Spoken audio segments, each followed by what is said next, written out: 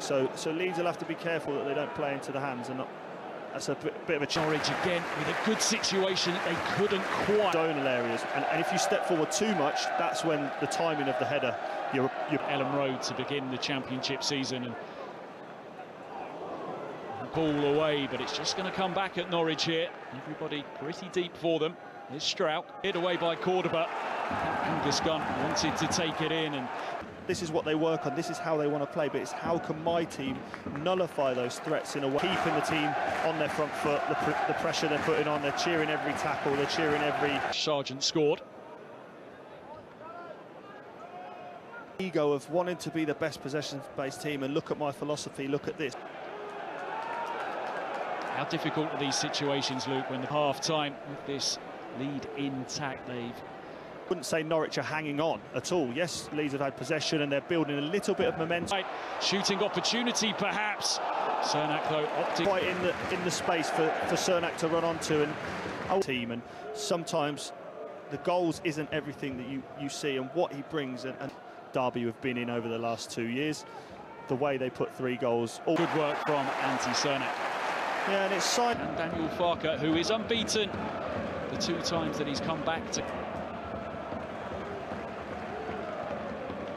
that they've been using the ball the first sort of six weeks. Back on the ball with Rothwell, who came on during the first half to another chance for them to to break a line.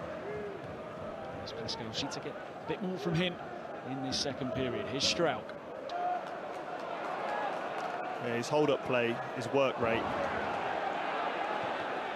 He looks to cross. Nunez brings to the team for me is it, it, it's an app they played under last season to fall at the final hurdle, sort of save it quite comfortably. It was a tricky one for the goalkeeper as well, Angus. And Leeds having to be patient. Struijk.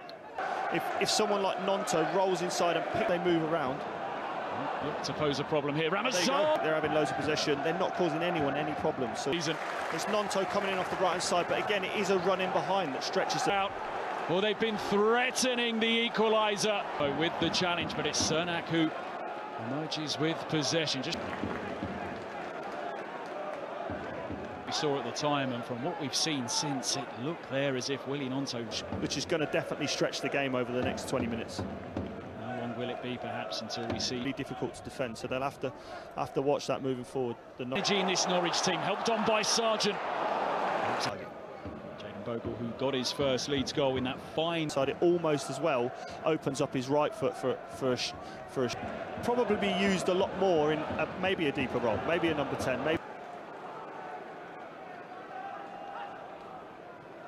to three. When he stepped in defensively for his side as well and read the situation of this game. Can someone go on and turn one so far this season? It looks as if both of those records are still going to be United one.